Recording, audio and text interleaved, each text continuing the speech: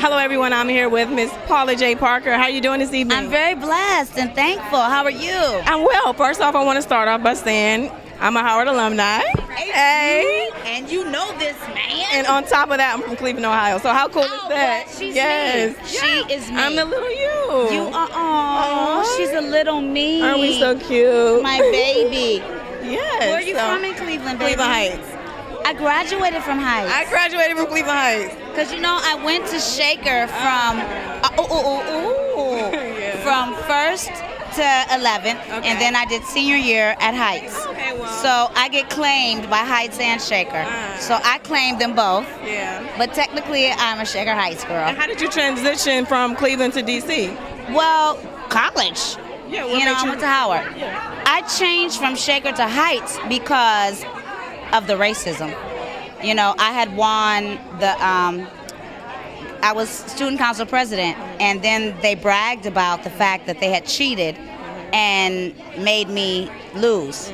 And I just said, forget it. I'm tired of being, you know, disrespected at this school because it's predominantly white.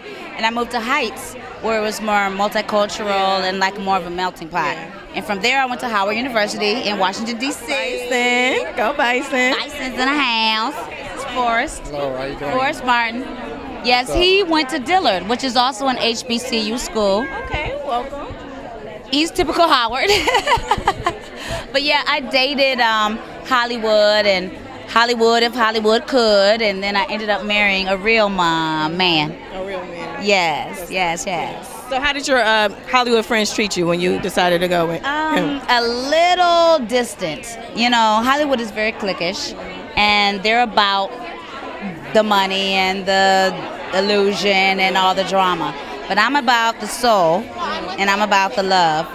And you can't help what you fall in love with. It just is what it, what it is. When it is, what it is. That's and you true. Just do what you do. So I'm thankful that my husband and I were able to come together and in love and create and you know God had a plan that was higher than man's plan.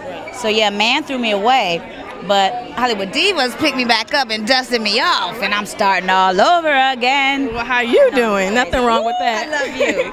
I love you too. But besides Hollywood Divas, you're working on another project as well. Um, well, Hollywood Divas enabled us to create our own project.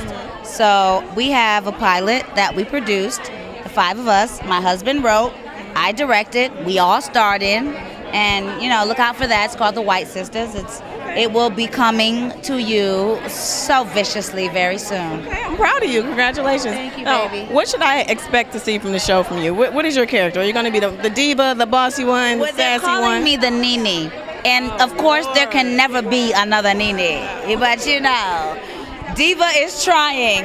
Um, well, you know, basically, I'm allowed to diversify my talents and not only act, but direct. So you'll see a lot of directing from me, a lot of making things happen, a lot of pushing. that Um, Howard Hustle in you. yes. In Cleveland too. Yes, yes, yes, yes, yes. Now, last question. Can you tell me what it, what is a diva to you? A diva is another word for a hustler. A hu- Beyonce? a hustler. So yes, a diva. You know, history has made anything feminine and aggressive and positive negative, but a diva is just a feminine woman about her business. Nothing negative. It's not a bad thing. Never, never, never that. All right. Well, there you have it, everyone. From Paula, stay tuned with uh, Hollywood Divas on It's you in HHBmedia.com.